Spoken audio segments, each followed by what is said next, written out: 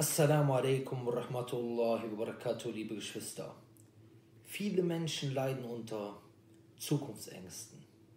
Was ist, wenn ich krank werde? Was ist, wenn dieses oder jenes passiert? Was ist, wenn das in der Ehe nicht klappt? Was ist, wenn es zur Scheidung kommt? Was ist, wenn ich danach keinen Mann mehr finde? Was ist, wenn ich danach keine Frau mehr finde? Was ist, wenn ich den falschen Job wähle? Was ist, wenn ich die Prüfung nicht überstehe? Etc. etc. Ich gebe euch einen Ratschlag, wie ihr all diese, und viele Menschen leiden da extrem drunter. Ich gebe euch einen Ratschlag, wie ihr all diese Zukunftsängste auf einmal beseitigen könnt. Ihr müsst nur Angst vor einer einzigen Sache haben, beziehungsweise vor zwei, aber die sind eng miteinander verbunden.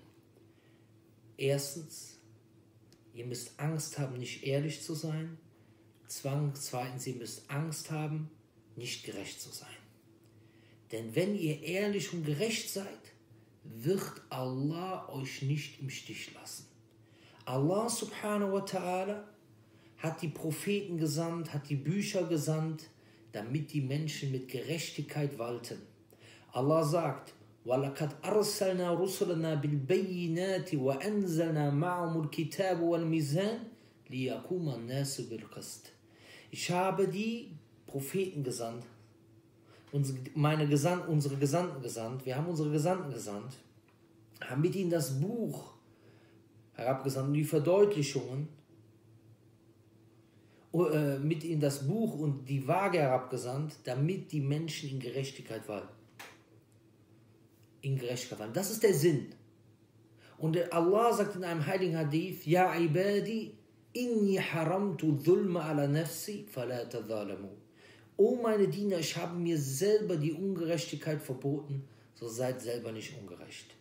Deswegen, wenn du ehrlich und gerecht bist, egal was dir passiert, es wird irgendwann ein Ausweg kommen. Vielleicht ist die Scheidung, die, zu der, die Scheidung, zu der es gekommen ist, vielleicht ist das gut für dich, weil du einen neuen Mann oder eine neue Frau findest. Vielleicht ist, wenn du ehrlich und gerecht bist, Vielleicht ist der Job, den du verloren hast, vielleicht ist das gut für dich, weil du danach was Besseres findest. Aber wenn das auch nicht hier passiert, spätestens am jüngsten Tag. Und wenn du ehrlich und gerecht bist, egal was dir im Diesseits passiert, es ist alles keine Strafe, sondern eine Probe von Allah subhanahu wa ta'ala. Oder es ist für dich da, weil du mit deinen eigenen Taten die hohen Stufen im Paradies nicht erreichen konntest und deswegen hat Allah dich auf die Probe gestellt, damit du durch diesen Ibtila, durch diese Probe und durch diesen Sabr, die Geduld, die du dann hast, diese Stufen im Paradies erreichst. Deswegen frage dich bei jeder Handlung, bin ich ehrlich, bin ich gerecht? Und glaubt es mir, ich habe es selber schon so oft erlebt. Ja? Wenn bei mir jemand ungerecht ist, ich bin wütend, sauer.